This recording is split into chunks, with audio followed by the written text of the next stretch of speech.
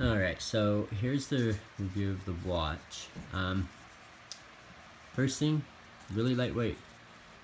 Um, like that uh, white inlay, looks nice, but I don't know if you can really tell. This is more of like a rose gold, which, um, I don't know, as a guy, not my thing. Um, didn't realize that, but yeah, I mean, if you like the rose gold, then by all means go for it. Uh, another thing that's kind of driving me crazy is how they have this band set up. Um, you know, it, I understand cut down on costs, just one simple strap, sew it together and you're good, but that would just really drive me crazy, especially having to deal with the hassle just to get the back off to change the battery.